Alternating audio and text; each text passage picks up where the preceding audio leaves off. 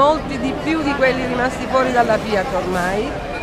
Purtroppo noi una nuova protesta, noi è dal 2013 che siamo in protesta prima per garantire i lavoratori che erano fuori dal sistema, ora siamo quasi tutti fuori dal sistema, i numeri sono che ce ne saranno un 3.500 ancora agganciati agli enti e il resto è o licenziato in cassa integrazione, un contratto di solidarietà, cioè comunque fuori.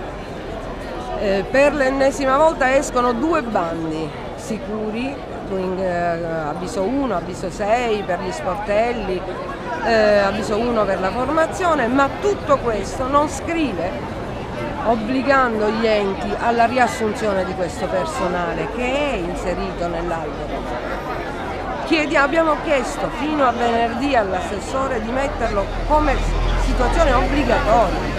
Cioè non è possibile che la Scilabra ha passato mesi a rifare l'albero per poi non essere chiamati mai.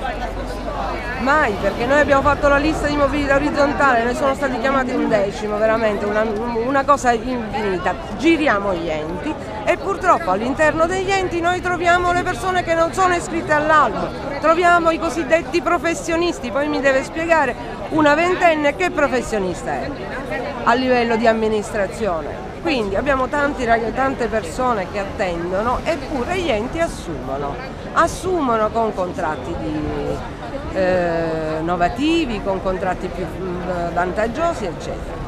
Siamo troppe persone ormai alla disperazione perché lei deve immaginare che ogni ente, ogni lavoratore aspetta dalle, dalle 6 alle 20-24 mensilità, non stiamo scherzando, alle quali si aggiungono un anno perlomeno di cassa integrazione ancora non pagato di cosa dovremmo respirare. Questo si chiama istigazione al suicidio delle persone. I sei morti li abbiamo già dati in due anni.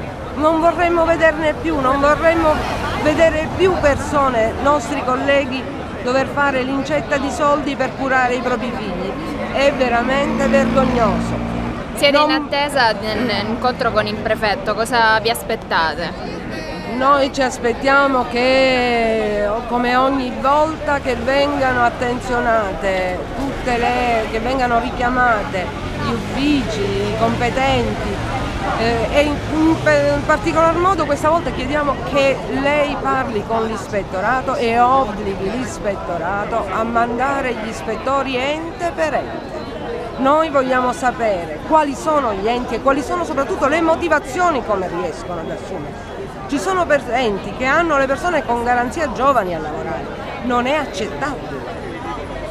Cioè, voglio dire, come, ent come entrano nel gioco la garanzia giovani della formazione? È una cosa mm, mai strutturata, mai nel, liber nel liberismo totale e sfrenato ognuno fa quello che vuole. Noi non smetteremo, noi dobbiamo salvaguardare queste persone e soprattutto la mente di queste persone, i diritti di queste persone. Chi ne ha 25, io sono dall'88 nella formazione, non è un giorno. Ho fatto di tutto, dall'insegnante di sostegno, l'orientatore, tante cose, tante riqualifiche, tante specializzazioni e come me tanti. E di che cosa dovremmo essere? Perché mi devo sentire... Cioè, perché dirci non hai fatto un concorso? Siamo stanchi di questa frase, alla Fiat non si entra nel concorso, ricordiamoci, e siamo contratto di diritto privato.